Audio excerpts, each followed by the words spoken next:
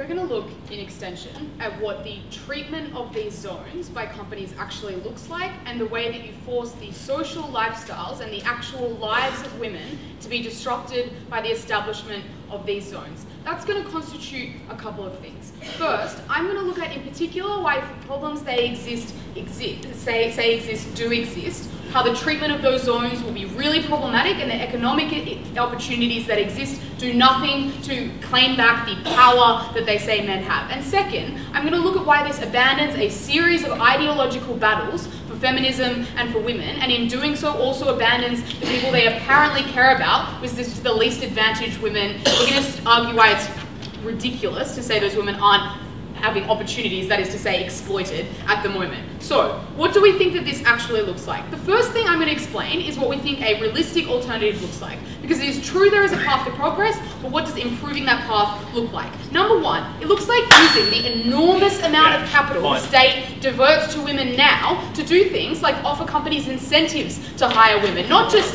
affirmative action. So they get a benefit from having women within existing corporate structures, that is to say, not making businesses now entirely male spaces, which we think is a problematic thing. Number two, we say you have education and scholarships and offer those incentives in the same way many Western countries do now with things like disability advocates, to say that those jobs can be valuable for people and that the company itself gets a benefit from that. Notably, that is a path to improve change.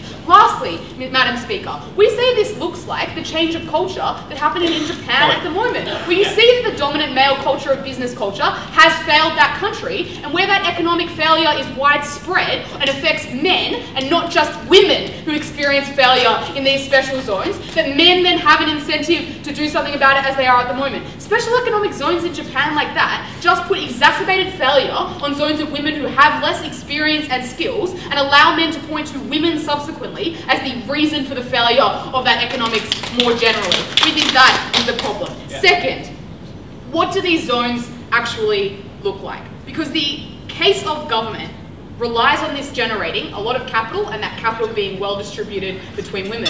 Notably, they said this was particularly important for really disadvantaged women. What does this actually look like? Number one, you force the separation of women and men in everyday lives because it's stupid to say that men can live and buy things in these zones when the reality is that you have to work in vastly physically separate areas. So you separate families and men and women. If that family unit or just living with other people who are not of your gender is important to you, you those people are no longer going into those zones. Number two, they don't change the dominant in corporate culture and of economic power of men because they admitted that most companies are owned by men. But we don't think that particularly changes. You just exploit women by companies that are owned in that way by men and entrench that power more for the companies that have a dominant position in the market than you do for individual women who at best get marginally more positions than they otherwise would, especially when the trend is increasing towards them getting more of those executive positions or basic positions. Three, what do special economic zones in particular look like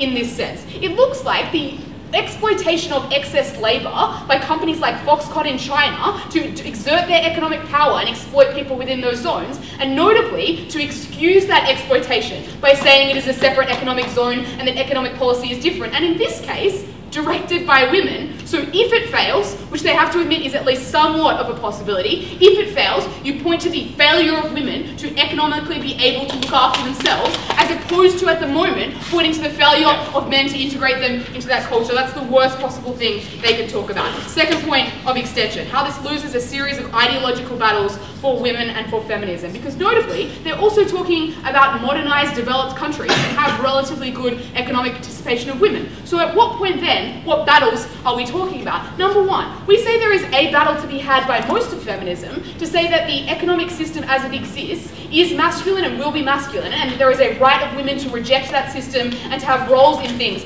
like housework, but also roles in things like their family or in more active social and community participation as being a more meaningful role. We think this focuses economic participation as a solution, but notably, it also focuses the capital that these countries have, especially developing countries, for encouraging women's participation or policies like allowing poor people to access services on that problem and on incentivizing special economic zones, so it makes it all the more difficult to advocate for different solutions. Let's say things like contraception for the women who will remain poor under your system, regardless of where they get those jobs from, because there will always be that underclass. Point.